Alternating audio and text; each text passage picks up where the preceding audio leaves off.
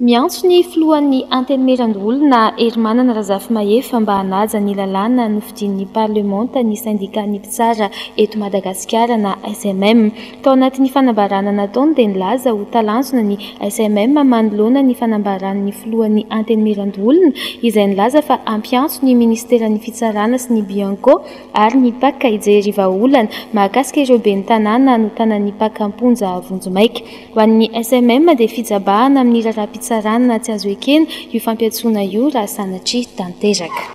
Ao anatin'ny fanadiovana sy fanatsarana ny fitantanana ny mpiasam-panjakana dia nisy ny fanolorana nomenclature des postes ho an'ireo minisitera miisa telo vaovao raha efa nanana izany ny minisiteran'ny Fitsarana. Hanampy amin'ny fitantanana ny maha olombelona sy ny hanatsarana ny fomba fiasa ary ihany koa hanampy amin'ny fampidirana anaty OGURA ireo mpiasam-panjakana.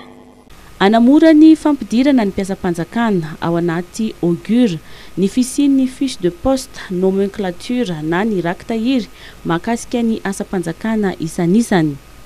Ary hanatsara ihany koa ny fitantanana ny maha-olombelona ary ny hampisy vokatra amin'ny asa izay atao, mba ho izay nianarany ny olona no asa ho ataony, raha ny nambaran'ny minisitry ny asa. ny fisian'izao nomenclature des postes izao satria mba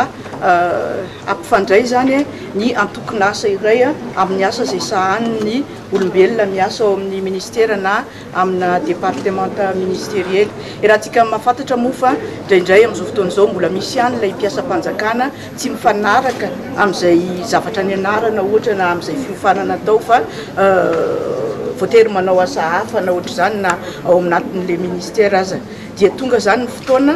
Hanohizana satria efa nisy ihany teo aloha fa nisy ministera vitsivitsy izay efa nanana an'io nomenclature des postes io dia ho tohizana izany izy izao mba hampisy kokoa ny fahatsarana sy fahombiazana eo amin'ny fitantanana ny maha olona ao amin'ny ministera tsirairay ka ilaina ilay izy mampisy vokatra bebe kokoa Raha hoe olona tokony ho eo amin'ny toerana no mipetraka eo amin'ny toerana iray, tsika mahita fa mahafantatra fa ny mpiasam-panjakana tsirairay dia ny tanjona dia miditra ao anatin'ny OGURA avokoa, ka raha indrindra indrindra misy an'ity fiche de poste nomenclature ity dia ho moramora kokoa ny fijerena sy ny fitantanana an'ireo mpiasam-panjakana ireo na ny fidiran'ny miasa izany na ny fanaovana ny evaluation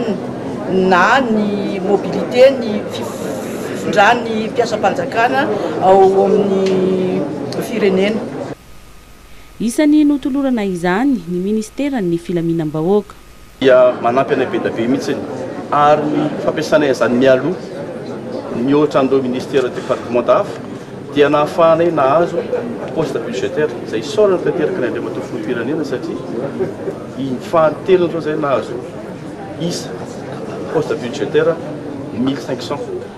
ary efa miofana efa nivoaka ny andiany voalohany tamin'izany, eo an-dalam-panofanana ny